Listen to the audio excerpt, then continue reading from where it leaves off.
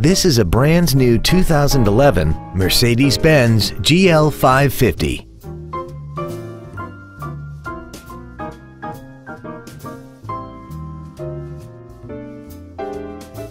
Its top features include a heated passenger seat, air conditioning, a navigation system, a CD player, skid plates, running boards, roof rails, a low tire pressure indicator, speed-sensitive volume controls, and a sunroof enables you to fill the cabin with fresh air at the push of a button.